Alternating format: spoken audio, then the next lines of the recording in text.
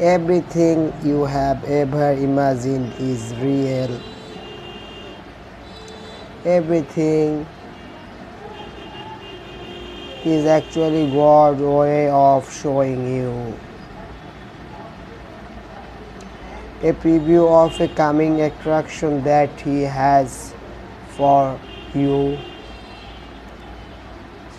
When I was 10 years old, a teacher she said, I want everybody to write what you want to be. When you grow up, I wrote on my paper, I want to be on TV. So she got to me and she said, Little is to come to the front of the clan. I figured that I is a big moment for me. So i get up there and turn out.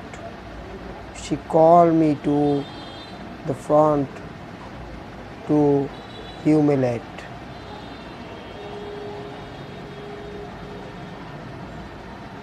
She said who? Do you know on tv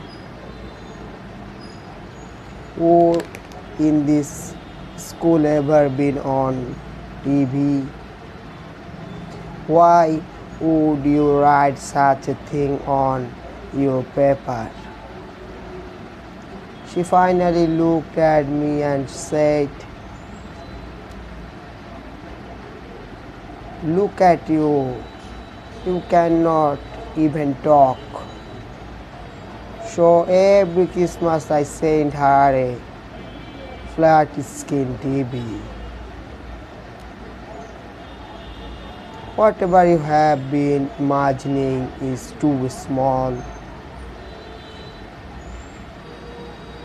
compared to what God has opened up before you.